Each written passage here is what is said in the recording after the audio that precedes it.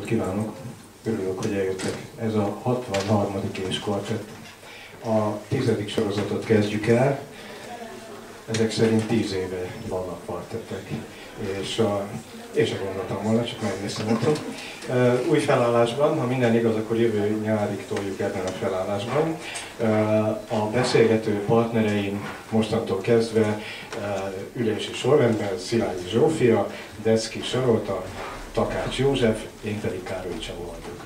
A mai alkalommal Vida Gábornak a regényéről, önéletrajzi regényéről, memoáriáról majd megbeszéljük. Az Egy dadogás története című könyvéről fogunk beszélgetni. Szokás szerint természetesen pontoztunk, tehát mindannyian adtunk egy pontot a könyvnek 1-től 10-ig.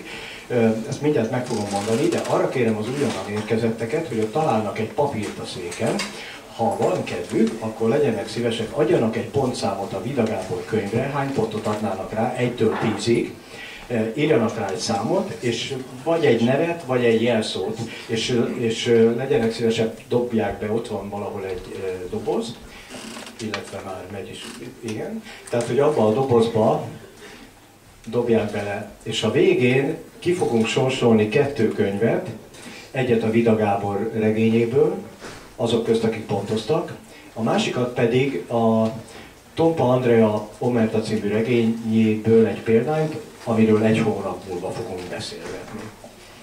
Tehát most kettő könyvet sorsolunk, érdemes pontozni. Tehát egy, egy számot kell fölírni egytől tízig.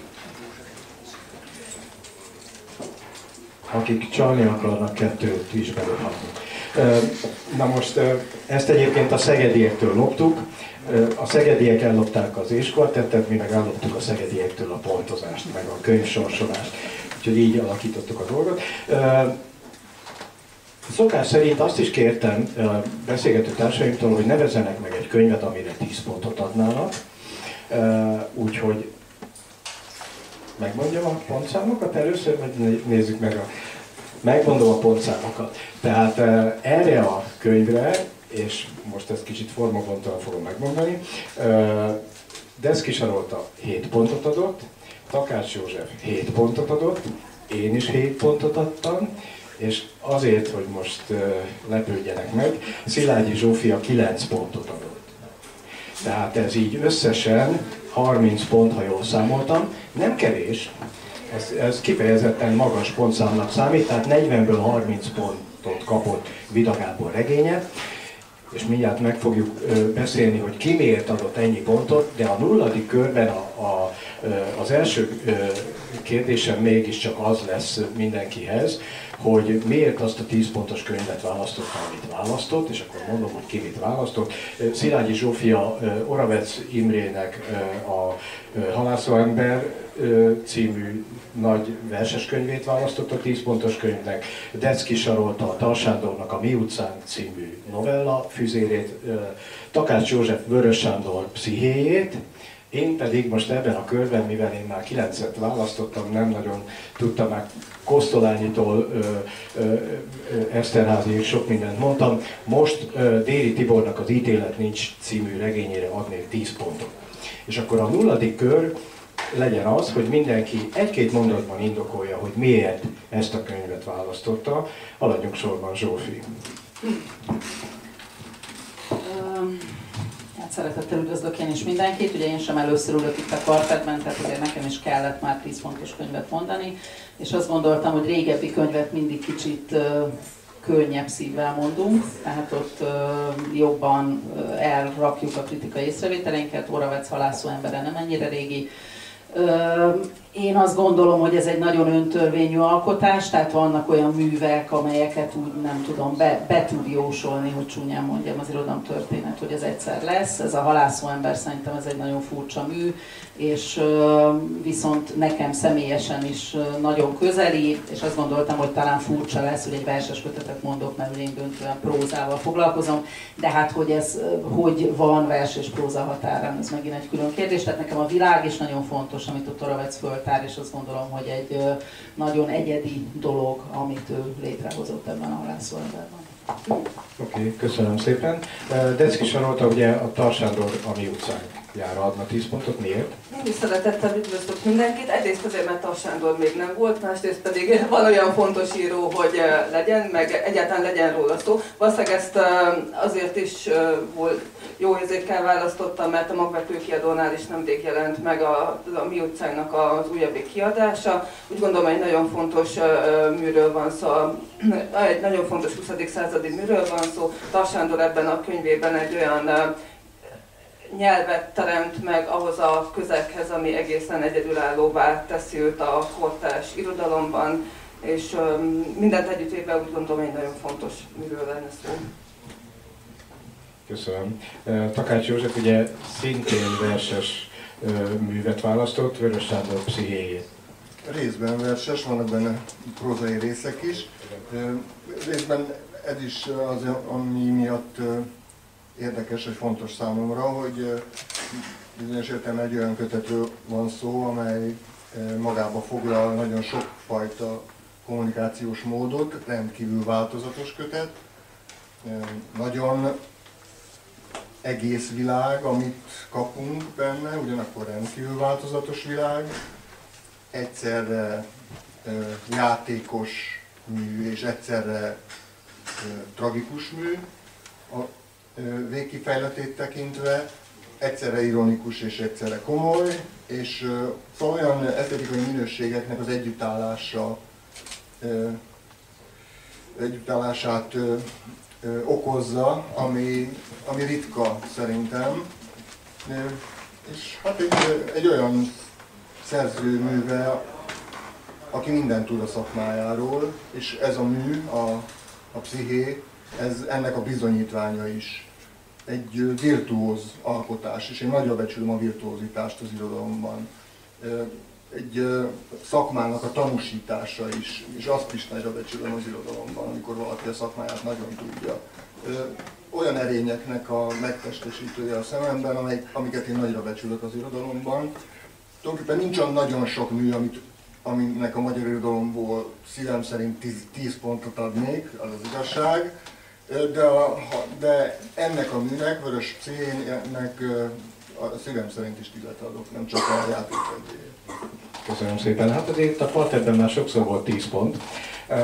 Különben azt elfelejtettem mondani, bocsánat. Csak nem én adtam. Világos, én, én sem adtam még 10 pontot sose, de 9-et már kétszer. Elfelejtettem mondani, hogy, hogy mindannyian a beszélgető társaim közül voltak már az és tagjai korábbi években. Úgyhogy ismerjük egymást, majd mindjárt össze fogunk vitatkozni, de akkor én is megmondom, hogy miért a dérit választottam. Az ítélet nincs szerintem nagy valószínűséggel a 20. századi magyar irodalom legjelentősebb memoár kötete, vagy legalábbis én így gondolom, és ráadásul egy rendhagyó formabontó memoár kötet, amikor tavasszal Nádasnak az új memoárjáról beszélgettünk, amire ott akkor ketten is 10 pontot adtak, akkor én úgy végig lapozgattam néhány önéletrajzi regényt a magyar irodalomból, Kassák, Vas István, I. és Gyula, Márai, és így tovább, és akkor azt láttam, hogy a déli magasan kiemelkedik ezek közül, azért, mert egy speciális technikával dolgozik, nagyon egyedi a poétikája, és nem egy lineáris elbeszélés, hanem egy, egy nagyon, nagyon különlegesen különlegesen megformált mű, amely úgy dolgozik az önéletrajzi fragmentumokkal, hogy terem belőle egy, igen, egy, egy nagyon magas színvonalú művészi szöveget, tehát itt akkor a Jóskához kapcsolódnék, én is szeretem azt, hogyha nagyon meg van kalapálva egy irodalmi mű. Talán ezért adtam rá 10 pontot. Lényeg az, hogy én azt is gondolom, de lehet, hogy hülyeséges van, aki ezt meg szokta támadni, hogy azért is mondunk egy 10 pontos művet, mert talán ahhoz is tudjuk viszonyítani, bár a körtét az almával nem lehet összehasonlítani, de lehet viszonyítani a többi műveket. És akkor térjünk is rá a mostani regényünkre, Vida Kábor könyvére. Azt szoktuk ö, ö, első körben, hogy mindenki indokolja a pontszámát, és szokás szerint, aki a legtöbb pontot adta, ő indokol először, tehát Szilágyi Zsófit kérdem, hogy miért 9 pont. Hát a pontozásba így vissza kell jönni, amikor az ember újra iskolatetbe, tehát boldogak azok a hónapok, amikor nem kell pontozni, és nem kell úgy nézni a könyvekre. Úgyhogy uh, itt, és kvartetről kvartetre én legalábbis az elveimet is szoktam teljesen elvtelenül változtatni, hogy mi alapján pontozok. Tehát az egyik az én személyes történetem ezzel a könyvvel. Ugye én írtam erről kritikát, erről a vitaregényről a könyv héten, az élet és, irodalom. az élet és irodalom nevű lappa.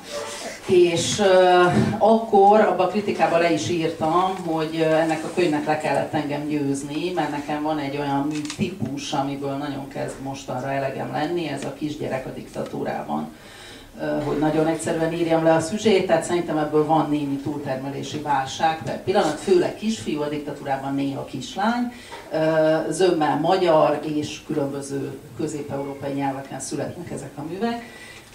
És ennek ellenére letettem a fegyvert egy idő után. Tehát azt mondtam, hogy igen, nagyon sok mindenben érzem, hogy ez ismétel bizonyos elemeket, és nekem ez mégis tetszett, hogy ilyen nagyon egyszerűt mondjak első körben.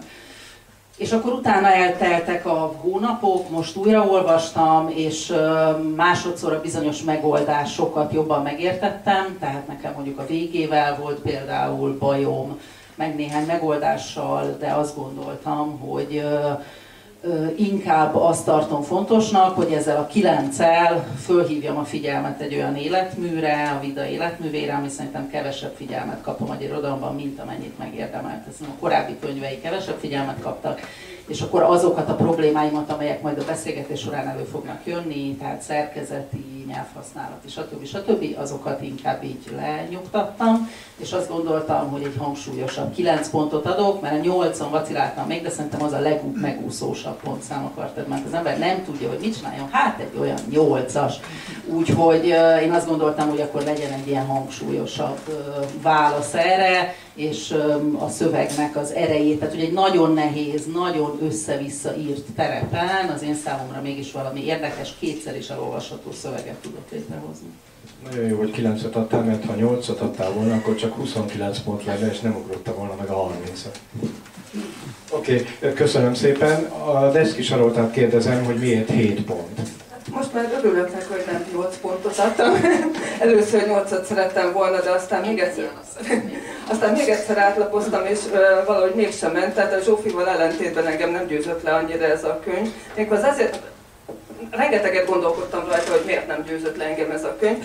Nagyon erős kezdés volt, az első oldalak azok viszik magukkal az embert, ez volt a benyomásom. Aztán pedig valahogy így elkezdett ez a nyelv kicsit monotonná válni. Tehát pontosan az a nyelvi és sokféleség hiányzik bennem, amit az előbb a Jóska a pszichére mondott, vagy ami a tartban is megfigyelhető. Nekem hiányzott belőle valami humor, irónia, valami, amivel oldja ezt a viszonylag homogénnek tűnő nyelvet. Még annak is nagyon megörültem, amikor egyszer-egyszer nagyon szépen elkáromkodja magát. Van benne két-három olyan káromkodás, amit románoktól vagy magyaroknak tanul, azok úgy valahogy kiugranak ebből a nyelvi közegből, de amúgy pedig tényleg az volt a benyomásom, hogy e, e, e, ez az egész nyelv érvényesül végig az egész könyvben, dacára annak, hogy baromira kemény témákkal foglalkozik, és ahogy a Zsófi mondta, hiába van ezekből a, típusú regényekből túltermelési válság, azért úgy gondolom, hogy darabonként mindegyik ilyen hasonló típusú könyv megérdemli a figyelmet és megérdemli az esélyt arra, hogy komolyan vegyük. Ugyanilyen ezzel a szemmel olvastam a Vida könyvét, de mondom, a nyelve miatt valahogy nem tudtam többre értékelni. Oké, okay. Takács Jóska is 7 pontot adott. Miért? Akár nagyon röviden is válaszolhatnék, mondhatnám azt, hogy nem, nem rossz könyv, csak nem elég jó. És az 7 pont. Az pont, az pont 7 pont. A, hogy miért nem elég jó, nyilván azt kellene elmondani, azt, hogy miért nem elég rossz, miért nem rossz könyv, azt a Zsófi elmondta. A, ö, először is említett nem regény, különben, ha már szóba került ez a műfaj elnevezés többször, vagy a kiadó adta ezt a alcímet neki, vagy a maga a szerző adta, nem tudom. Minden esetre szerintem ez egy, ez egy rendesen életrajz. egy önéletrajzi könyv, nagyon kevés regényszerűt láttok benne, őszintén szólva, no, nem mondom könnyű megmondani mi az, hogy regényszerű, de én nem láttam regényszerűnek, ez egy rendes önéletrajzi paktumot köt az olvasójával, és ez betartja az első mondatától az utolsó mondatáig, én úgy láttam, és én aláírtam ezt a paktumot, ez egy önéletrajz. És ugyanakkor a bizonyos értelemben talán épp a regényszerűséget hiányoltam, vagy úgy is meg tudnám fogalmazni a hiányérzeteimet, hogy a regény műfaja felől közelítek hozzá. A regény az nagyon sokszor, mivel több szólam érvényesül benne, több nézőpont érvényesül benne, nagyon sokszor valami fajta ironik, iróniát, ironikus szerkezetet eleve magába hordoz. Pusztán attól, hogy több perspektívát lehetővé tesz. Ez nagyon monologikus szöveg, ami nagyon nem akar regényé válni, nagyon nem, nem, nagyon nem engedi a, a szólamait önállóan beszélni, nagyon sokszor ítélkezik. Ez nem olyan, mint a déri, hogy ítélet nincs, itt van ítélet. Így nagyon sokszor hoz ítéletet a szüleiről a beszélő, a családjáról, a rokonságáról, Erdéről, a románokról, a magyarokról, saját magáról mindig ítélet van, újra és újra ítélet van. És ez a monologikusság egy kicsi nehézkes monologikusság ilyen terjedelemben, hogy úgy mondjam, szerettem volna egy kis regényszerű, több szólamúságot bele, és akkor talán, talán jobb, talán jobb olvasója lettem volna. Hajjaj, tulajdonképpen egyetértek az előttem szólókkal, én is 7 pontot adtam, bár én is gondolkodtam a 8 ponton, de az ugye megúszos lett volna. Ezért újra olvasván a szöveget, nekem másodjára kevésbé tetszett, kevésbé fogott meg. Tehát észrevettem azt, hogy ez egy viszonylag egyszerű szöveg, nincsenek benne semmilyen nyelvi, poétikai cselektrükkök, tehát valóban megpróbálja elmondani az életét különböző ö, tematikus rendezésben, fejezetekben, hívószavak alapján. Ö, tehát kérdés, hogy mennyire regény, ez majd mindjárt kérdés lesz, úgyhogy ez az egyik, egyik ö, első kérdésem. Ö, de hogy tulajdonképpen ö, ő is azt mondja, hogy arról van itt szó, hogy hogyan nem írja meg ezt a nagy erdély regényt, miközben mégiscsak megírja az önéletrajzát. Másrészt pedig hát hogyan írja meg úgy az önéletrajzát, hogy mégiscsak abban benne van valahogy fragmentumokban egy erdély regény, vagy egy erdély történet.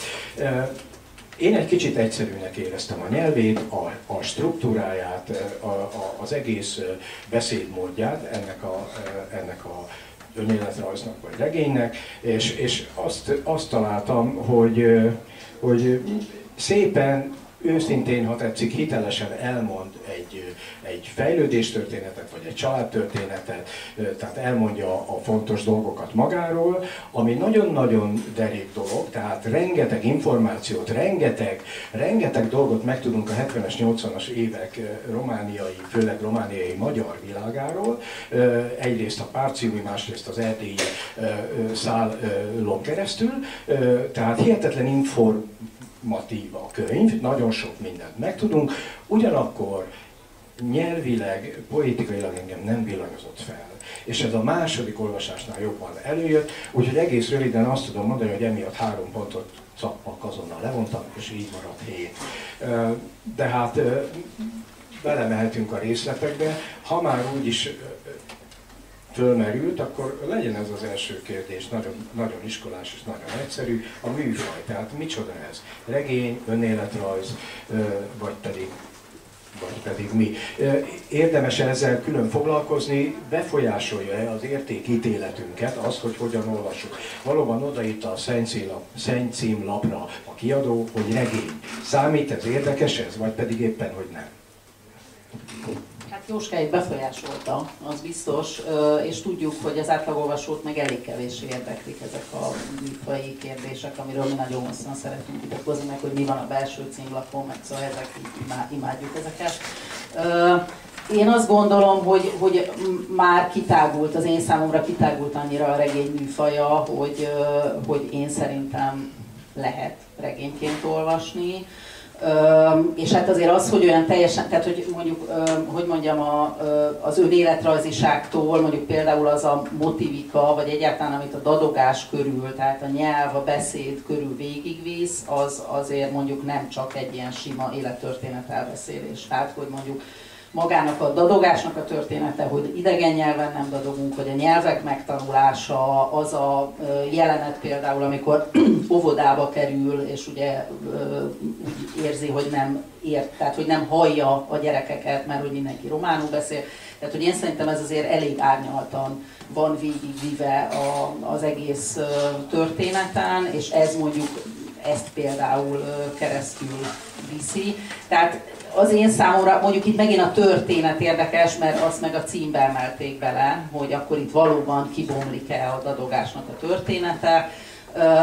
Én most erről nem is, csak néhány állítással, hogyha lehetne, tehát az egyik, amit, amit Saci mondott, ez a humor. Nekem meg az az érdekes, hogy néhány ponton most nem tudtam csak egy-két olyan példát látni, szerintem van, ahol nagyon finom humora van, nem ironikus, persze, de hogy, hogy azért ezeknek a családtörténeteknek sokszor van egy visszája is, én szerintem, és miközben azt én értem, hogy, hogy van ítélkezés, úgyis, hogy tulajdonképpen megfejtés nem sokszor tud, de ítéleteket mond a szüleiről, tehát nem érti a történetüket, de ítélkezik.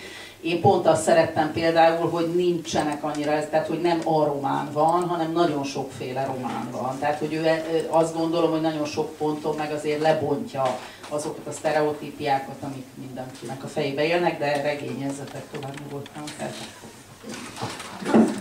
megnyugodtam, akkor az átlag olvasó szemével olvastam a regényt, amire oda van írva, hogy regény, akkor én azt készséggel elhiszem, hogy valóban regényről van szó, annál is inkább, mert ahogy a Zsófi mondta, azért a regény műfaját eléggé sok felé tágították az utóbbi időkben. Tehát képes voltam regényként olvasni, ráadásul ugye sokszor előjön a, a regényben, hogy családregényt készül írni, és gondolom, hogy valamennyire ezt sikerült is neki megírnia. Tehát dacára annak, hogy folyamatosan azzal viaskodik, hogy csak meg kéne írni a nagy erdély történetet, meg, kell, meg kéne írni a nagy családregényt, ahhoz képest úgy, úgy gondolom egy ilyen el lett dadogva egy ilyen töredékesebb egy nagy regénynek az eldadogott változatát kapjuk meg, mint egy ilyen, ilyen töredékesebb formában a személyes élményeken, a személyes életúton keresztül, és ezt a családot akár még metaforikusan is érthetjük a tágabb környezet vonatkozásában, tehát akár úgy is vehetjük, hogy a nagy erdély regény is meg lett írva így a maga sajátos módján. És amit a Zsófi mondott, hogy a dadogás története, az is egy ilyen hallatlanul izgalmas motivum ebben, hogy a beszédnek, a hallgatásnak, a beszédre való készségnek, képtelenségnek a története hogyan vezetődik végig, erről majd szerintem még fogunk beszélni, de hát a dadogás története, vagy a dadogás regénye, a nyelvek regénye, a beszéd regénye is megjelenik ebben. Jóska? Oké, okay, Jóska szerint nem regény. Uh, jó, jó, akkor, akkor uh, egy igazó, igazi olvasói kérdés. Zsófi kedvéért. Uh, a moly.hu-n uh, az egyik értékelő, egyébként nagyon magasra értékelték, szinte mind, mindenkinél öt csillagot kapott, de valaki azt írta, hogy nem azt kapja az olvasó, amit egy erdélyi írótól elvár. Most akkor csak akarom mondani, mert ugye, hogy ne narráció, meg műfaj, meg ilyenekkel jöjjünk, akkor ez egy jó kérdés. Mit szóltok ehhez? És én azt gondolom, hogy ez egy, ez egy általános olvasói hozzáállás ehhez a könyvhöz, csak emögött van egy prekoncepció, ugyebár. Zsófi. Igen, tehát szerintem végig prekoncepcióval küzd, tehát hogy egyáltalán mi az Erdély, hogy egyáltalán az, hogy... Mármint, hogy az olvasó fejében... Az olvasó fejében mi van, tehát ez, amiket hozzá is köt a borvíztől, a székelységig, az akcentus, tehát az, hogy, hogy hogy mondjam, nem ez a nagy totál van, hogy ott akkor elképzeljük a medvéket néző, borvizet ivó székely fiakat, hanem hogy hogy a közelségben próbálja, persze aztán tipizál is, tehát én nem mondom, hogy nem, mert aztán ott az apa családja, anya családja és így tovább mégiscsak olyan, mintha direkt ki lett volna találva egy ilyen család, hogy minden érintve legyen benne. De hát igen, hogy ezeket bontja le, tehát a lehetséges nagy erdélyregényt, és még ott is, hogy ugye sztereotípiák vannak, tehát az irodalmon keresztül láttuk ezt az erdélyképet, hogy ugye ez nem Tamási Áron írta, hanem olyan, mintha Móricz írta volna. Egyébként ez az, ami nekem például nem tetszett, vagy ami szerintem nagyon kilóg egy regény szövetből, amikor ilyen teljesen nyíltan utalgat, hogy a családregény vége után már tudtam, hogy nem lehet így írni. Akkor van egy ilyen mondat, hogy Ottlik viszont zseniális. Tehát ilyet szerintem a, ez Jóskát támasztja alá, hogy ilyet egy rendes regényíró nem csinál, hanem akkor azt valahogy bele kéne szőni a szövetbe, hogy legyen viszonya Ottlikhoz, Eszterházihoz, Tamásihoz. Itt meg olyan nagyon nyersen szerintem ilyen címkékként vannak lerakva, de mindesetre az biztos, hogy az irodalmi képzeteket is fölmutatja, mert hogy az Erdély az sokunknak nem tapasztalás, hanem szöveg, vagy ö, film, vagy egyáltalán kép, stb. Oké, okay, oké, okay, de visszatérve ehhez, tehát, hogy nem azt kapja az olvasó, amit egy erdélyi írótól elvár. Mítosz az erdély, amire, aminek a lebontására azért elég, so, elég sok kísérlet történt már az elmúlt évtizedekben, úgyhogy azért is lepődtem meg ezen a olvasói elváráson, mert szerintem hozzá lehetett szokni az utóbbi években, évtizedekben, hogy több olyan erdélyi regény is született, amelyek cáfolják, vagy lebontják ezt az idét a havasok, meg a derékszékely mítoszal, stb. Ja, hogy azon... hát tessenek ugye olvasni, szóval én ezzel ugye nem tudok mit kezdeni. De, uh, Jóska, mondjad, mondjad, aztán majd gondolod.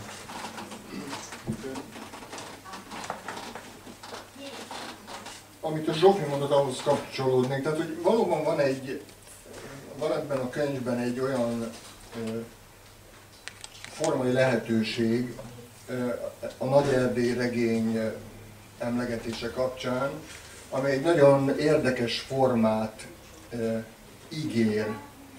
Szerintem kb. 70 oldalig egyébként, utána, egy idő után elfelejtődik ez a formai ajánlat, és nem fogja át a kötet egészét. Egy ideig valóban fönnáll ez a lehetőség, hogy egy olyan író önéletrajzi szövegeként olvassuk a könyvet, aki egy regény helyett írja meg a maga történetét, és a regény, saját regényírása kudarcának, sikertelenségének a történetét is beleírja a saját önéletrajzi történetébe. Ez egy érdekes, látunk már ilyet, de ettől függetlenül egy érdekes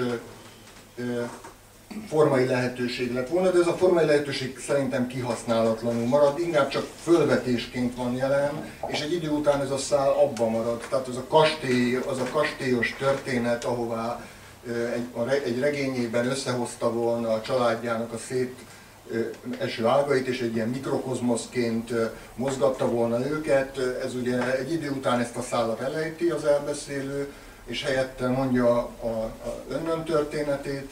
Ez, én itt inkább egy kihasználatlan formai lehetőséget láttam tulajdonképpen, és az, mint hogy más hasonló kihasználatlan formai lehetőségek is benne rejlenek a szövegben, ilyen értelemben talán a dadogás története is egy félbemaradt formai lehetőség.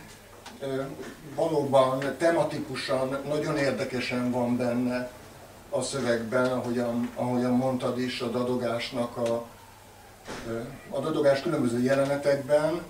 Ugyanakkor, amikor azt mondja az elbeszélő, hogy, hogy én írásban is dadogok, akkor én olvasóként csak azt tudom mondani, hogy nem. Egyáltalán nem dadogsz. Nagyon is folyékonyan beszélsz. A lehető legfolyékonyabban beszélsz, úgy beszélsz, mint egy író.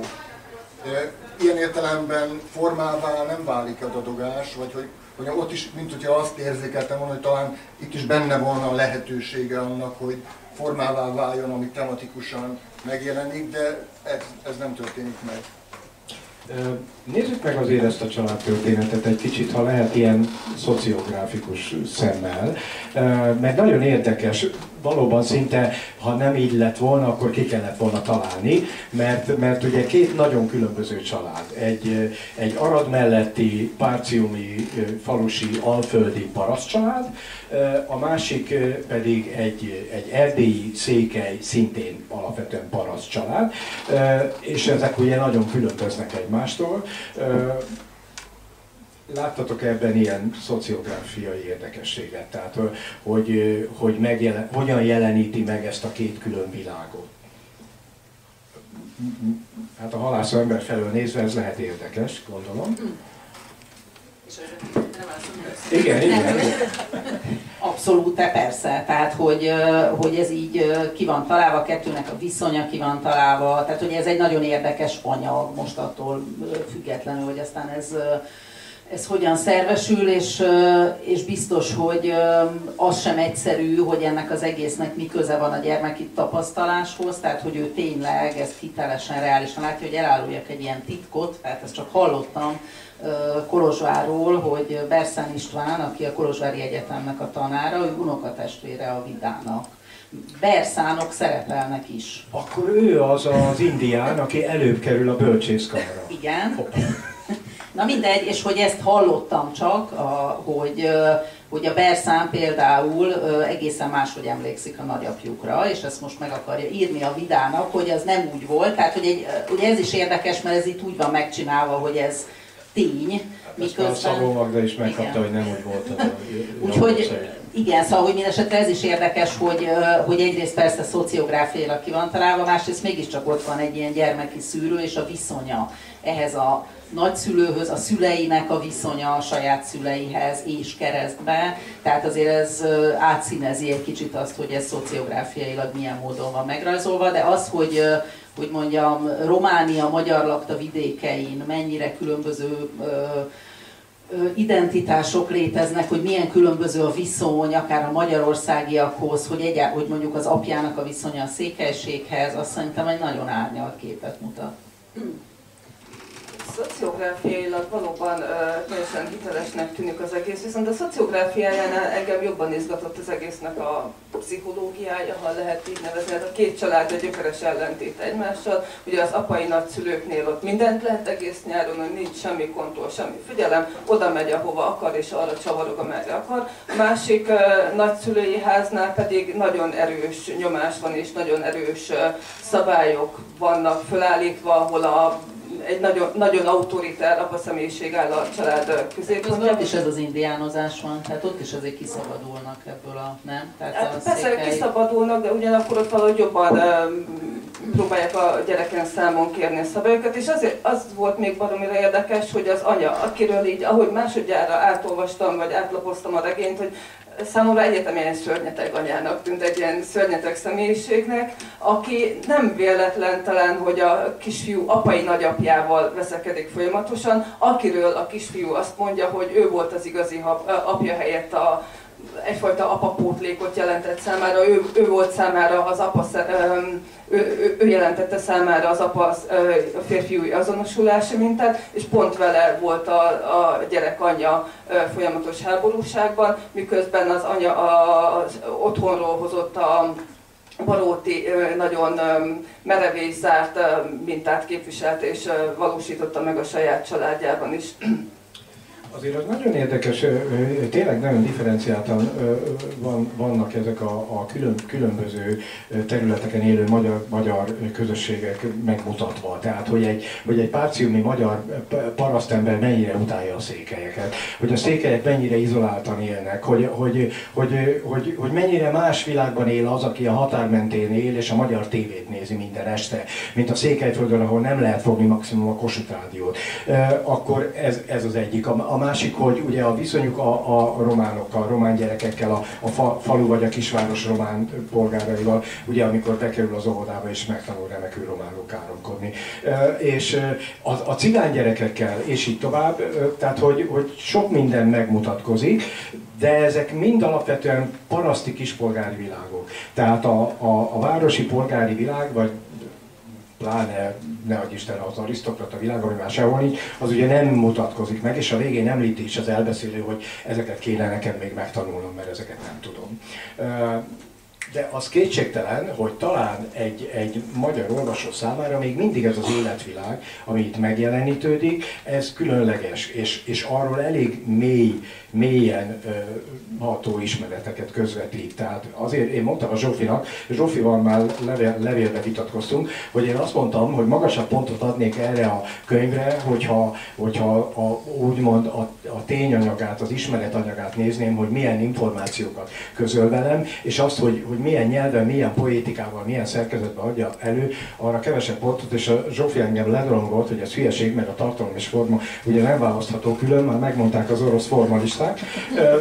És ez tényleg így van, de erre azt tudom mondani, hogy ugyanazt a tartalmat mégiscsak meg lehet árnyaltabb nyelvi formában fogalmazni, és kevésbé árnyalt nyelvi formában. És erre ma, ma reggel úszás közben kitaláltam egy jó példát. Mégpedig azt, azt találtam ki, hogy vegyük ezt az aranyverset, ami úgy szól, hogy 500 bizony dalolva ment lángsírba velszibált.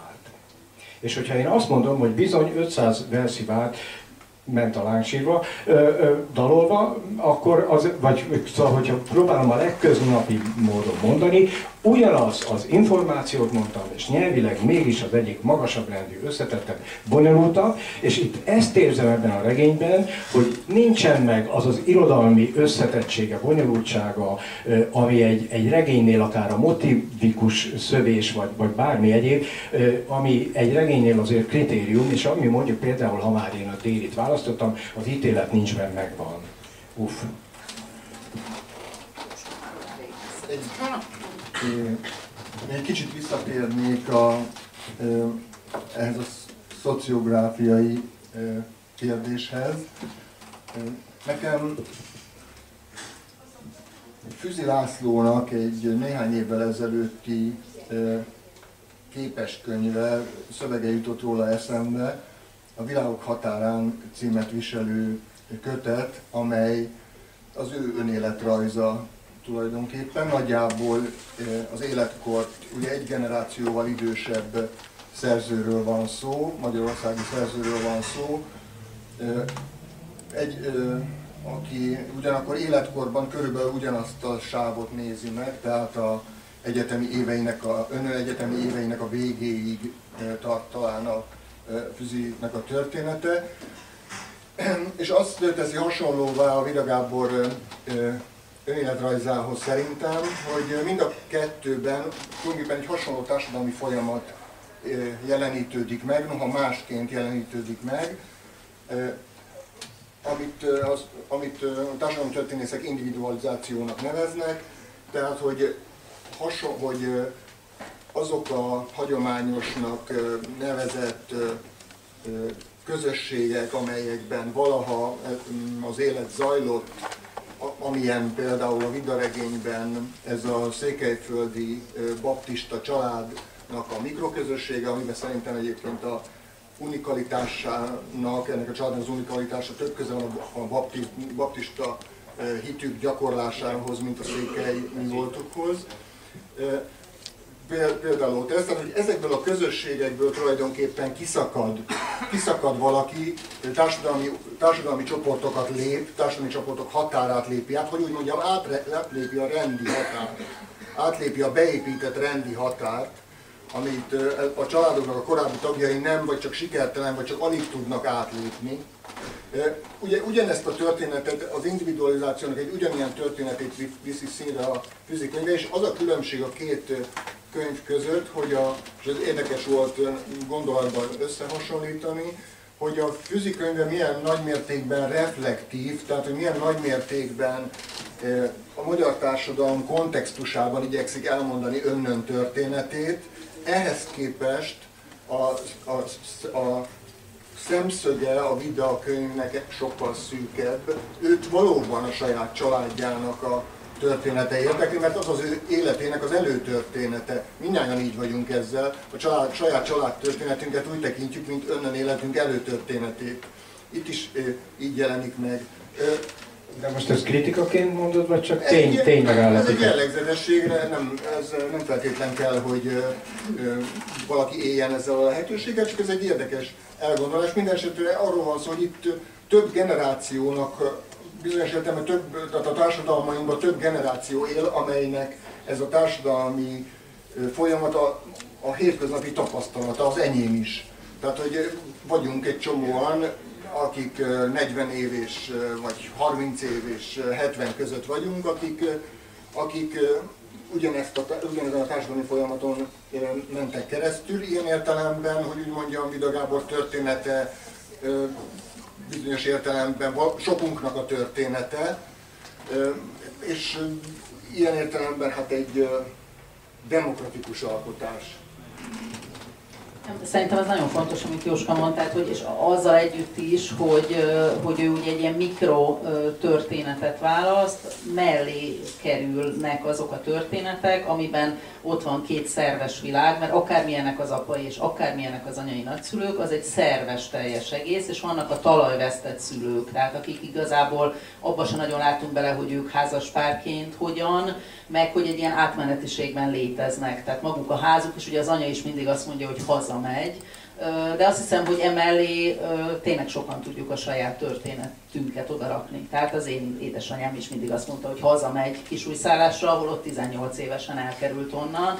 Tehát, hogy, hogy ez tényleg, és itt meg már akkor nem is egy erdélyi történetről beszélünk, hanem nagyon sok ilyen fajta magyarországi történetet is mellé lehet tenni, és mindehez ott van az, hogy, hogy közben meg ez a mi nem olyan család vagyunk, ami állandóan ismétlődik, tehát hogy mi másmilyenek vagyunk, és mégis ott van ez az érzésünk, hogy nagyon sok személyes sztorit oda lehet tenni a Vida könyve mellé, amit ő persze nem játszik ki, tehát tényleg nem tesz, de valami nagyon alapvetőt mutat meg egy család történetén keresztül, és mondom, itt lehet egy kicsit talán az ítélet, ítélkezésből is levenni, hogy ott van ez az ambivalencia, hogy állandóan részeg a nagyapám, de mégis, hogy mondjam, ott van a teljesség, hogy hallgatjuk együtt a játék és muzsikát 10 percben. Tehát, hogy ez, ez a tapasztalat.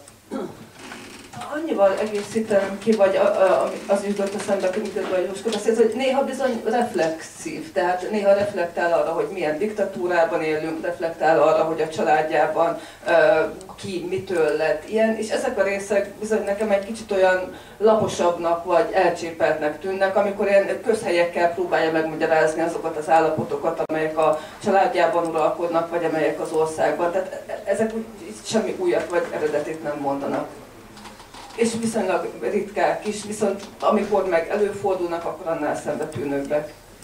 Igen, ezt abszolút meg tudom erősíteni. Nekem is ez volt az egyik alapvető tapasztalatom a könyvvel, hogy amikor, amikor elérkezik az általánosításokhoz, akkor nagyon sokszor lapos és lapos, közhelyes és időnként ham, azt hiszem hamis megállapításokhoz jut.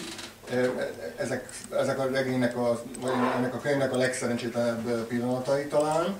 És még ezt, ehhez azt tenném hozzá, hogy a, a, ez, erről, amire már korábban céloztam, hogy ez az ítélkezés dolog, hogy, hogy ö, ott, ott is valahogy azt, az volt a benyomásom, hogy amikor nagyon erőteljesen érvényesíti az elbeszélő a maga ítélkező per, per, perspektíváját, a, mondjuk például a szüleivel szemben, akkor a szöveg szerintem kevésbé jó, mint akkor, amikor mindez visszahúzódik, lágyulni kezd, fölpuhul valamiért, amikor elfelejtkezik arról, hogy neki itt a saját szövegében a szereplői fölött ítélkeznie kéne, és el kéne mondania, hogy ki, a, ki az, aki jól cselekedett, és ki az, aki rosszul cselekedett, ki az, aki nem szerette őt eléggé, ki az, aki szerette őt eléggé. Amikor mindez visszahúzódik, tulajdonképpen akkor válik igazán jóvá a szöveg, akkor, és akkor én is elfelejtkezem a fenntartásaimról. Nem arról van szó, hogy akkor jó ez a szöveg, amikor tényleg regényszerű, tehát amikor, amikor tudjuk regényként olvasni. És talán akkor kevésbé jó, amikor, amikor ennél szimplább, tehát egy, egy egyszerű életrajzi történet, önéletrajzi történet elmondása történik, vagy annak a magyarázata. Tehát arra gondolok például, hogy amikor elkezdi azt magyarázni, hogy a protestantizmus miért van nagyon közel ugye az Ószövetségen keresztül a zsidósághoz, mert hiszen ugye keresi a, a hagyományokat, a gyökereit, és akkor emiatt. Vagy például, amikor elkezdi magyarázni, hogy a modern társadalmak a, a katonaság mintájára épülnek fel, hát ezek elég szimpla részek, tehát hogy ezeket kár volna oda tenni, érteni, mert anélkül is tudjuk, ha meg nem tudjuk, akkor lehet rá utalni, de olyankor, amikor, amikor erre csak utalás szintjén, vagy, vagy akár játékosan, vagy ironikusan van beépítve, akkor jól működik. Például ugyanebben a szerintem egyébként remek fejezetben, ami a katonaságról szól, amikor az van, hogy, hogy, hogy tényleg borzasztó körülmények között vannak, és nem lehet mosakodni, nincs meleg víz, semmilyen higiéniás körülmény nem adott, és akkor ugye reggel ötkor felébresztik őket, és, és borotválkozni kell, és van, amikor, van, amikor ö, ö, egy pesgőben borotválkoznak meg, és akkor odaírja, hogy mert fő a higiénia. Ugye, és akkor ez bőven elég, tehát ott lehetne okoskodni, hogy hát így meg úgy, nem, akkor ezzel az egy mondattal elintézi. És ilyenkor regényszerű a szöveg, én ilyenkor szerettem olvasni, és olyankor, amikor próbálja megmagyarázni a dolgokat, olyankor kevésbé. Meg hát szerintem azok is, tehát hogy az ilyen jelenetek maradnak meg, tehát hogy mennek haza a disznótóra, és akkor ez a hihetetlen körülményesség, hogy lehetne egyszerűbben, de mégsem úgy megyünk, az összeveszés, tehát ahogy az például leírja, azt szerintem nagyon jó. Tehát az ilyen jelenetekben, amikor nem, hanem a, a, ezek maradnak meg szerintem leginkább. Pontosan így van, szerintem azért a legjobb a katonaság fejezet, meg, meg például annak, a, annak az erdélyi árvíznek a leírása három-négy oldalon, az szerintem zseniális. Az úgy van megírva, hogyha az egész könyv így lenne megírva, akkor olyan 9 pontot adtam volna, hogy hajaj. De mit csinál ennek a jelenetnek a végén? Oda tesz egy utolsó mondatot, hogy ez ugye azért van, mert kiírtják az erdőket a, a hegyekben, és azóta is továbbra is írtják a, a fákat az erdőbe, tehát megöli a saját remek három-négy oldalas uh, árvízi nagy jelenetét egy ilyen hülye mondattal. Ezért 7 pont meg az is a, például a szilveszterezés, tehát az, hogy ott egy román, és akkor ugye a hofit le kéne fordítani romára, de hát senki nem fordítja le neki, és ahogy ilyen mosolyogva az a jóték lélek román végigül a szilveszter, tehát ezek szerintem nagyon erős jelenetek, igen, azok meg nem erősek. Tehát mondom, nekem ugyanez, ennek a másik változata ez, amikor különböző művekről tesz szintén ilyen kinyilatkoztató megjegyzéseket, hogy innentől az iskola határon ismételhetném, tehát nekem meg ott volt az, ahol szerintem még hamisságot is lehet érezni, mert az úgy nem jó, tehát hogy az valahogy most már azt szoktuk meg, hogy ezt máshogy csinálja az irodalom, tehát ennél kicsit összetettebben. De ennek lehet az az oka, hogy, hogy tulajdonképpen az íróvá válás regényeként is olvasható ez a könyv, és hogy állandóan a operál, hogy rengeteg író és irodalmi műnek a címe megjelenik a szövegben, szépen sorban, én ki is írtam vagy 50 tétel legalább, tehát hogy, hogy ebben az értelemben meg nem arról van-e inkább szó, hogy, hogy, hogy ezt tudatosan akarja végigvenni, hogy, hogy az irodalmisághoz való viszonya a kezdetektől, hogyan kezdett elő olvasni indián regényeket, és így tovább, meg a Jack London volt a kedvence, és így tovább. Tehát hogy kezdi el olvasni az erdélyi magyar irodalmat, és próbálja megnézni, hogy az jó vagy nem jó, és ugye, hogy mikor lett igazán olvasó, amikor egy Szilágyi Domokos kötetet talált az antikváriumban, és akkor azt olvassa, és nem tudja abba hagyni. Tehát, hogy nem éreztétek-e úgy, hogy, hogy miközben ez egy önéletrajzi, vagy akár fejlődésregény történet, hogy itt közben, mintha folyamatosan az irodalomról volna szó, vagy az volna a háttér anyag mindig. Tehát mindegy, hogy a, a, a kisjenői családról van szó, vagy, vagy az erdélyi indiánosdi nyárról van szó, vagy pedig a gimnázium éve, éveiről van szó, vagy katonaságról van szó, mindig ott van háttérben számtalan irodalmi utalás.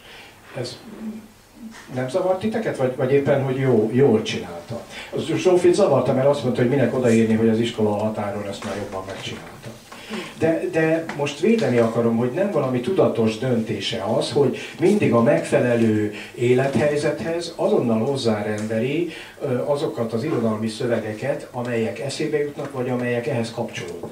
Nem, hát tematikusan biztos, hogy igazad van, tehát hogy az egésznek a kerete is az van maga nyitán, ez a devel nem kezdő mondatot, tehát az íróság, az apának a viszonya van devel mondat kezdve. Igen, sok helyen van. Az apának a viszonya ahhoz, tehát hogy maguk a hősök és az irodalom van egy olyan, hogy a apja leteszi a puszták népét. Tehát, hogy ez nem irodalom, ugye még ezzel is el van játszva, hogy mik az irodalomnak a határai, hol vannak a szociográfia regény határai. Tehát biztos, hogy van ilyen, de szerintem ez nincs elég következetesen és elég jól megcsinálva, én szerintem. Tehát tematikusan igazad van, hogy van egy ilyen, és azért sorjáznak a művek, de én nekem ez talán egy kicsit túl egyszerűen van megcsinálva. Én is inkább hümmögtem egyet, amikor egy-egy ilyen utalást olvastam, de valóban hiányzott az a kiépített háló, vagy, vagy egy ilyen gazdagabb utalásrendszer ahhoz, hogy ebben valami komolyabb dolgot lássunk. Ebben az értelemben persze egy fejlődéstegény, vagy a irodalom irodalma, de nem volt számomra ez annyira jelentős. Hát nyilván minden életrajznak,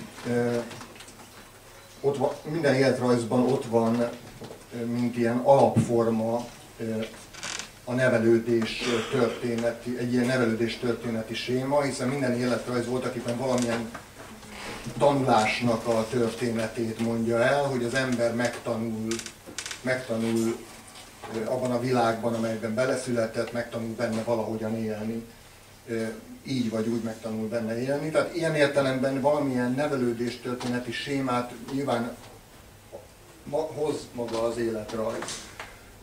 Az, az is biztos, hogy az is úgy van, hogy az íróvá válás volna itt talán a, a telosza a könyvnek, tehát ami felé halad, mint cél felé a könyv. Ugyanakkor az az érdekes, hogy maga a személyiség, az mintha nem sokat változna ugyanakkor.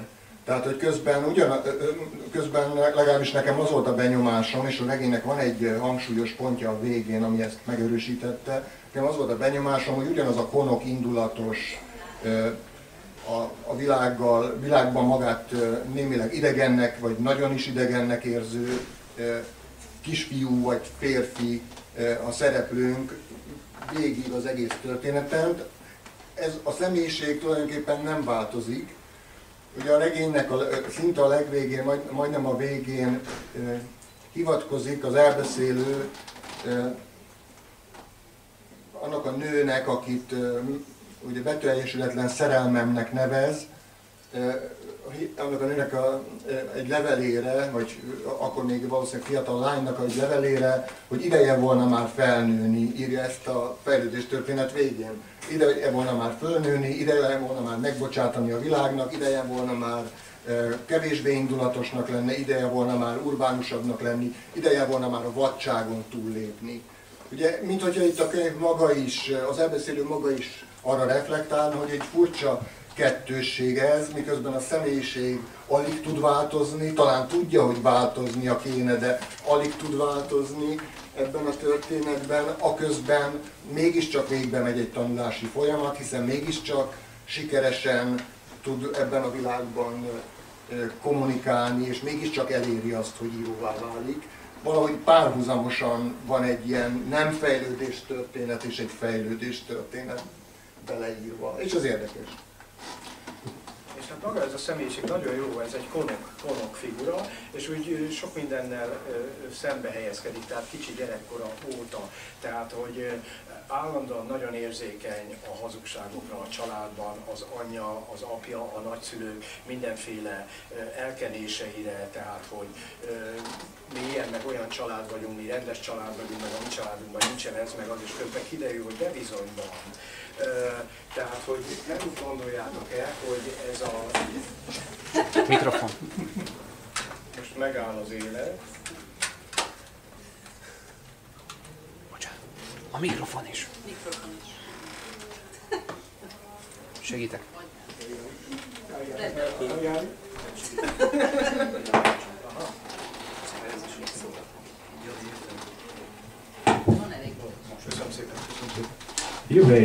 Szóval, hogy egy olyan konok figura, aki mindig ellenkezik, és, és tulajdonképpen, hogy igaza is van, mert hogy tele van álságokkal ez a család. És, és ha a, a Vidának a, az írói hogy mondjam, indulását megnézem, akkor ugyanazt látom, hogy úgy indult íróként, amikor ugye megy a posztmodern irodalom Magyarországon, akkor azt mondja, hogy én pedig nem leszek posztmodern író. Azért sem, hanem én majd rendes, tisztességes történeteket fogok írni.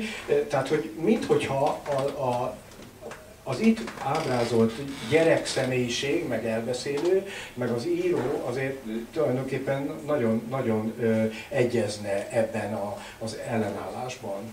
Ö, hogy például azt mondja, hogy nem akarok, nem, er, nem erdélyregényt akarok írni, tehát nem. Mindig, mindig valami nem, hogy nem ezt akarom, nem így, nem úgy. Ez számomra érdekes volt.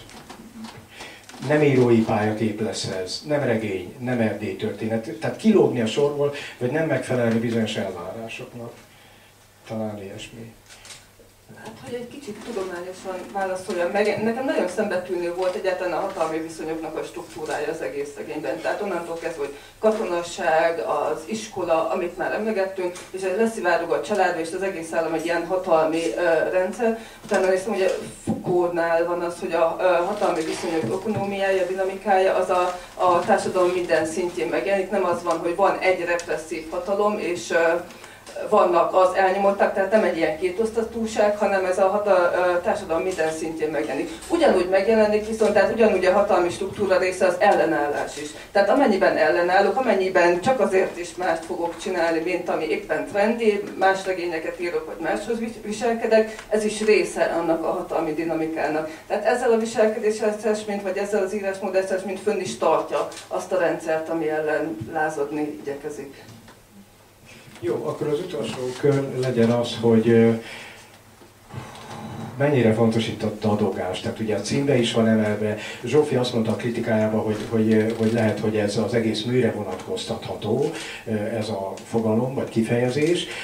Ugye tényleg talán a leggazdagabban kidolgozott motivum az elejétől a végéig megjelenik, hogy van egy kisfiú, aki ahogy elkezd magyarul beszélni dadog, érdekes módon románul nem dadog, aztán amikor franciául megtanul, franciául sem dadog, a katonaságnál sem dadog, mert ott szinte nem is beszélnek magyarul, vagy nem is beszélnek, vagy mit tudom én. Azt állítja viszont, hogy íróként dadog, és ugye végighúzódik a regényen ez a probléma, hogy hogyan, hogyan akarja a család megoldani. Ugye az anyja elviszi orvoshoz, egy aradi orvosnő azt mondja, hogy majd kinövi a gyerek. Aztán nem növi ki, azt hiszi, hogy a katonaságnál kinövi, de mégsem növi ki, mert miután visszajön, megint adogni kezd. Tehát, hogy, hogy mennyire vonatkoztatható ez a dadogás, mint motivum, vagy, vagy mint fontos fogalom az egész regényre szerintem már Jóska mondta, hogy magának, tehát mély struktúrában nem megy le, viszont tényleg nagyon sok mindez oda köti, mert ugye még a diktátorhoz is oda köti, hát van az a jelenet, hogy amikor ugye rájön, hogy Ceausescu is dadó, vagy legalábbis ezt mondják, a tanárnő, tanárnő mondja, ezt mondja neki, igen. hogy figyelje meg. interiorizálja. Igen, igen. És hogy nézd, figyeld meg, hogy nem interiorizálja, ha, ha meg tudná csinálni, akkor nem dadog. Tehát, hogy, hogy tulajdonképpen azt lehet mondani, hogy tényleg egy ilyen központi, hát tulajdonképpen tematikus elem ez, amit ilyen szempontból végigvisz, mert magának ennek a soknyelvűségnek is, ez világos, hogy ez ugye magyarországi helyzetben más lenne, tehát nem lehetne ennyire gazdag, mert ott például egy egynyelvű gyereknél ez a fajta nyelvi tapasztalat nem állna mellé. Tehát ilyen szempontból egy nagyon gazdagon körbejárt dolog, de mondjuk maga a szöveg az tényleg egy nagyon szépen hogy mondjam, csobogó szöveg. Talán annyiban, hogy mondjam, ha a dadogást ilyen elhibázottságként, vagy meg nem írásként, ezt meg Saci emlegette már, akkor mégiscsak lehet így fölfogni, hogy egy rendes, idézőjelben rendes regény helyett van egy ilyen, egy rendes család helyett van a miénk, tehát ilyen szempontból lehet az egész regényre vonatkoztatni szerintem. Neki inkább ilyen metaforikus fogalomként tűnt föl, hogy a dadogás, mint a beszédre való fogyatékos készség, a beszédtől való valamilyen szintű megfosztottság, ami pedig végigvonul az egész regényen a családközi viszonylatokon, hiszen nagyon sokszor ki van mondva, ugye, hogy nem beszélünk dolgokról, hallgatunk, konkrétan előfordul az a mondat, hogy dolgozunk és hallgatunk, vessük össze az, hogy nincs telenekben, nagyon sokszor előfordul az, hogy a falu hallgat. Tehát, egy, tehát ezzel mint egy beíródik, hogy hülyét le fogok mondani, lehet, de mint egy a hallgatás regényeknek a, a sorába. Tehát valami fajta hallgatást próbál meg ez a, a szegény gyerek folyamatosan megtörni, ami, aminek meg is lesz ugye ez a következménye, amennyiben ő beszélni akar, amennyiben ő lázadni akar a családja mellett, akkor bizony dalogásra kárhoztatódik, hiszen a, az édesanyja és az édesapja is folyamatosan azt súlykolják, hogy nem szabad beszélni, el kell hallgatni dolgokat, és a dadogás szerintem ennek a fogyatékosságnak mármint morális értelemben vett fogyatékosságnak a kifejeződése, ami, ami pedig rányomja a bélyegét a család családon belüli viszonyokra, a saját magukhoz való viszonyra, és egyáltalán a, a készségükre arra, hogy autonóm morális lényekként létezzenek abban a közegben, hiszen nem tudnak úgy autonóm morális lényekként létezni, hogyha képtelenek bizonyos alapvető dolgokat megbeszélni. És számomra a dadogás ennek a, ennek a föl-föltörő vágynak, ám sohasem be teljesülhető vágynak vált a metaforájává. Hát én azt gondolom, hogy tényleg sok ilyen gyerekszemmel megírt történet van mostanában, a Zsófi emlegette is a kritikájában, ugye Borbé Szilától Barnás Ferencig, vagy Lángzsótól Tompa Andráig, sokan írtak ilyesmit. De itt ez a leginkább speciális ebben a könyvben szerintem, a dadogás motivumának a, a, követ, a motivumának a következetes végigvitele. Tehát nekem ez kifejezetten tetszett, és, és, és ez jó volt a vége. Miért itt van vége? Tehát miért, miért, miért ott van vége, hogy fölveszik az egyetemre? És Zsófi azt írta a kritikájában, hogy az árlat nem igazán sikerült, tehát hogy úgy el van vágva és egyszer csak vége lesz. Föntartod ezt még, vagy már nem? Illetve, hogy vajon miért itt fejezi be a, a történetet az elveszélő? Van ennek valami speciális értelme? Másodszorra talán kicsit jobban értettem, mert tulajdonképpen szerintem a csúcspontja ott a végén a katonaság, és akkor annak már csak egy ilyen kis nyúlványa az, hogy, hogy akkor fölvették az egy, tehát hogy akkor ott van egy új kezdet is.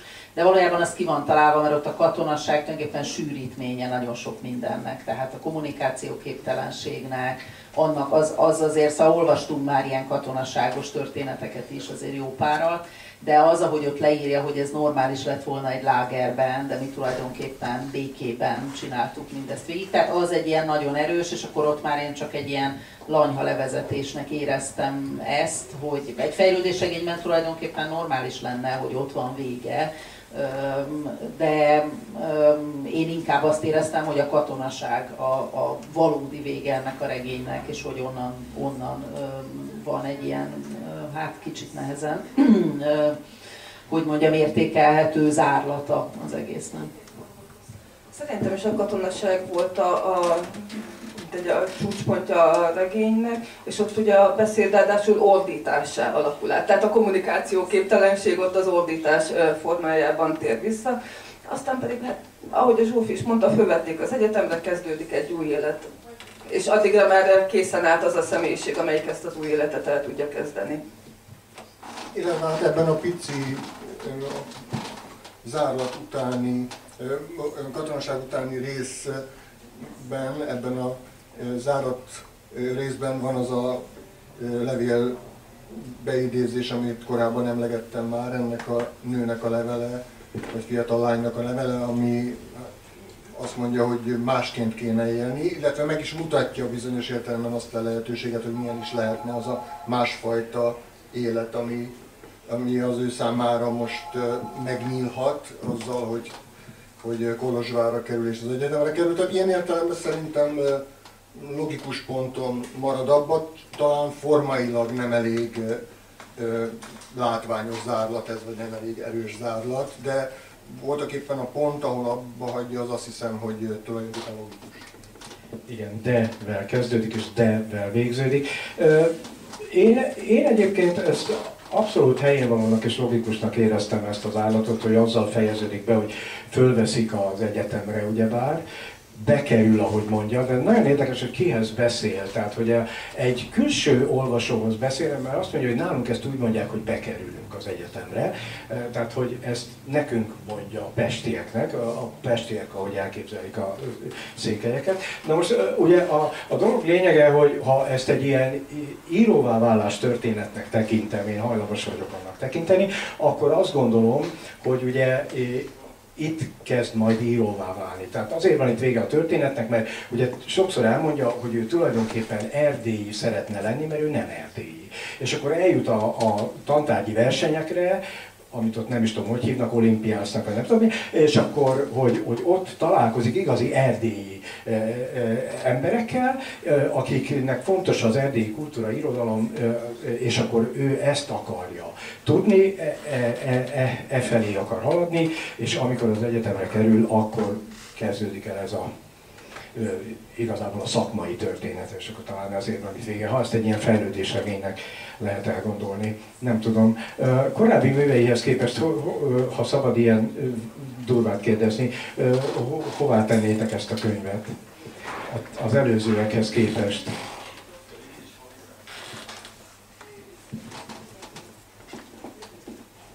Én két, két könyvét olvastam Vida Gábornak, többet nem.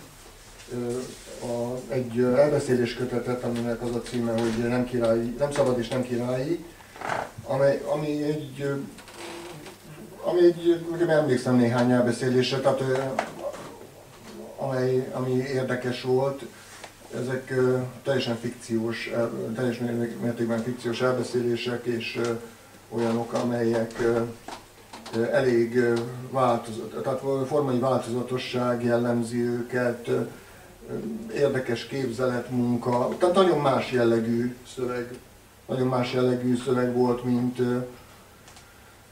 mint ez, a, ez az írásmű, egy kicsit, tehát akár még megkockáztatnám azt is, hogyha nem le- letakarják a szerzőnek a nevét, nem biztos, hogy megmondtam volna, hogy ugyanaz a szerző írta, mint a egy dolgozás története című könyvet, a másik pedig egy regény, Ahol az ő lelke. ahol az ő lelke, igen, ez a kis nehezen megjegyezhető című eh, Borzasztó rossz cím. eh, regény, ami megint, amiről ugyanezt tudnám mondani, szintén nagyon más jellegű, ugye egy századelős, eh, kisé túldíszített történetre emlékszem, egy egy, apának és egy fiúnak a története, tehát tematikus elemek, vagy tehát tematikus elemeket föl lehet fedezni, amelyek talán visszamennek valamilyen alkotáslélektani tapasztalatra, amely alkotástan, ami benne lehet a dadogás történetében és az ő életrajzában is benne lehet, de a, a, ahogyan az irodalmát csinálja, az nagyon más szerintem abban a regényben is, mint ahogyan a dadogás történetében. Nekem ilyen értelemben e két könyvhöz képest tulajdonképpen meglepetés volt a, egy dadogás története. És őszintén szóval, ö, de ugyanakkor kicsit más, tehát hogy a, a nem mondom, hogy jobban tetszett az egy dadogás története, mert az elbeszélés kötetnek a változatossága az bizonyos értelemben talán üdítőbb volt, mint a egy dadogás történetének az egyneműsége. Nem azért, mert meg akarom kerülni a kérdést, de meg akarom. tehát, hogy, az én számomra, tehát benne mondjuk frissebben ez az, ahol az ő lelke él, és azért is mondtam, hogy én szerintem egy nagyon érdekes szerzőről van szó, aki talán ő maga is, hát hogy mondjam, nem egy ilyen nagyon jó önmenedzselő, azt képzelem én róla, nem ismerem személyesen Vida Gábor, tehát hogy hogy például ez a címadásban is látszik, meg kicsit talán a jelenlétében, hogy kevesebbet tudunk róla. Az én számomra most az az érdekes, hogy ez után mi lesz, mert hogy itt mégiscsak van egy ilyen számvetés önmaga íróságával, vagy a, a, az esetleges írói kudarcaival, vagy azzal, hogy most akkor én félreteszem a regényt, és most ezt csinálom. Tehát nekem az az érdekesebb most, hogy ez után akkor most akkor mégiscsak rendes regényeket fogunk írni fikciósan, vagy megszületik esetleg az, ami nem tud megszületni. Tehát ez nekem egy ilyen határpontnak tűnik a pályán, miközben hát összegzéshez ő még nagyon fiatal, vagy lezáráshoz. Az jutott eszembe, hogy mint Vas Istvánnál, majd jön az azután. Ja. Jó, csak vicceltem, rossz viszont, bocsánat. Saci, nem akarsz. Én szerettem a novelláit is, de azért bátorkodtam ezt a kérdést föltenni, mert én ö, alaposan elolvastam annak idején az előző regényét, én is olvastam az, ahol az ő lelke, lelkét. Borzasztó egy cím, ö, ö, ahol az ő lelke. Ahhoz képest nekem ez a könyv jobban tetszett érdekes módon, mert az, már ez egy kisé mesterként regény volt tele szentenciákkal, tehát ha egy pozitív fejlődést látok, a szentenciákat kiírtotta a szövegből, ami egy, egy nagyjából, tehát redukálta, na, tehát visszafogta, és ez jót tett a szövegnek. Tehát engem nagyon zavart abban a regényben, hogy tele volt ilyen okoskodással és szentenciákkal. Itt, ahol erre sokkal nagyobb tér van, kevesebb teret engedett neki, hál' Istennek. Én őszintén szóval azt gondolom, hogy ez a legjobb könyve ideig.